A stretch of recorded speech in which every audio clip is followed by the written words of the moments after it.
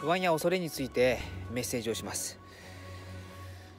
自分が一回失敗したことはまあ改善したいって強くは思うけどまた失敗するんじゃないかっていう恐れがあります。私もあります。でもその恐れが大きければ大きいほど逃げたければ逃げたいほどですね。やった後の成長って大きい。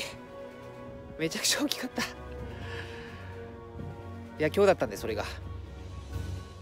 でもその複製にですね金曜日土曜日に東京から来た栄養士の小学校の栄養士の先生との出会いがあってるんですね。彼女も不安や恐れを私に話してくれました。私が質問して聞き出したんですけど。でもその自己開示から私は偉そうにアドバイスをしました。じゃあ自分ができてるかって。いやいやいやいやとんでもないです。とんでもございません。仏じゃありません。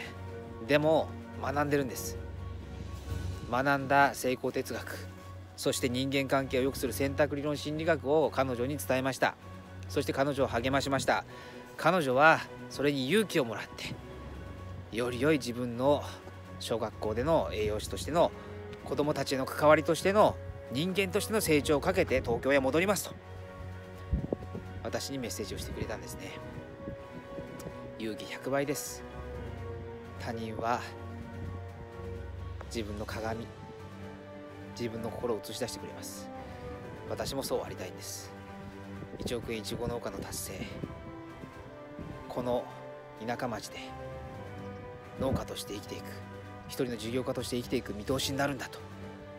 だから恐れや不安の感情をいかにして乗り越えていくかって一部始終全部さらけ出すぞと思って生きています。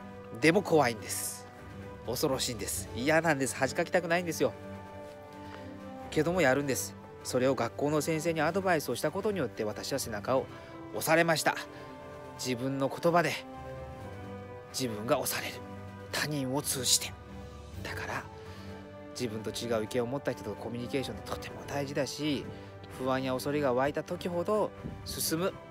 恐れが多い時ほど進む。不安と恐れを小脇に抱えてやる。尊敬する大好きな佐藤栄郎トレーナーの言葉です。今日はそれをまさに実行して勝ち得ました。大成長でした。本当にいちご割のお客さんそして金曜日土曜日来てくれた瀬上さん学校の先生本当に感謝ですね。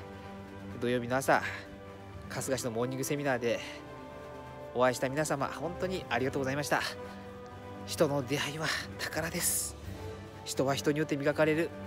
不安や恐れは成長促進剤です。今日は以上です。